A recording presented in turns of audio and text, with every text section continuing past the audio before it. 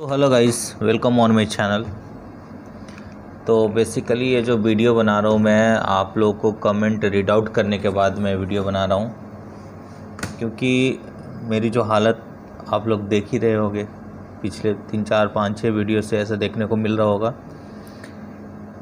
क्योंकि मैं ठीक नहीं हूँ अभी। थोड़ा सा प्रॉब्लम हो गया मुझे कुछ।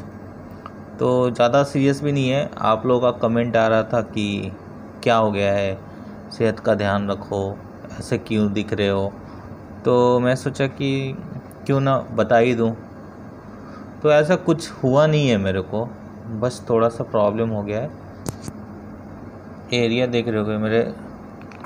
ये देखो एलिफ ये ना सूज पता नहीं आई डोंट नो कैसे हो गया है।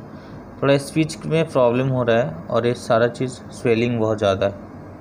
जिस वजह से खा भी नहीं पा रहा हूँ। बोलने को भी बहुत तकलीफ़ है but I will try my best कि मैं वीडियोज़ को कंटिन्यू रखूँ, क्योंकि अगर वीडियोज़ नहीं चाहते हैं तो भी कमेंट आते हैं। तो ये बेसिकली वीडियो उन लोगों के लिए जो मेरे से प्यार करते हैं, जो मेरे को मानते हैं कुछ, और जो मेरे को पूछ रहे हैं इंस्टा पे फेसबुक पे, कुछ लोगों ने यूट्यूब पे भी कमेंट करा था। कि सेहत का ध्यान रखो, क्या हो गया है करके, जो आवाज़ क्लियर नहीं आ रही है, आवाज़ कम आ रही है। तो रीज़न यही है कि मैं माइक पकड़ के वीडियो बना रहा हूँ, क्योंकि तेज़ बोल नहीं पा रहा हूँ अभी। और ये लिप टकरा रहा है आपस में तो थोड़ा पेन हो रहा है। वीडियो भी बनाना ज़रूरी ही है, समझो तो क्योंकि आप लोगों के साथ कनेक्ट रहना है तो बनाना ही पड़ता है। और यही है कोई ज़्यादा सीरियस इशू नहीं है। कुछ ऐसा नहीं हुआ। कुछ लोग का कमेंट आया है कि क्या कैंसर हो गया? ऐसा कुछ नहीं है। आप ऐसा ना बोलो। आ, कुछ इन्फेक्शन हो गया है।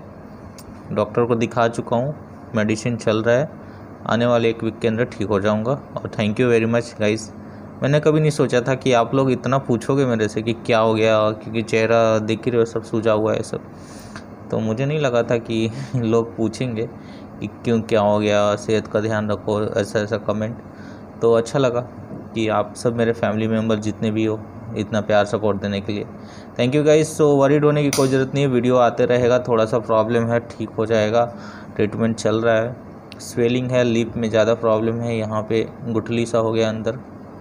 मतलब आ, क्या कहते हैं जख्म जैसा हो गया है। और इसमें सूजन है पूरा। होप सो आप लोग प्रे करना, ठीक हो जाऊँगा जल्दी से। Thank you very much guys आपका प्यार सपोर्ट देने के लिए। Thanks lot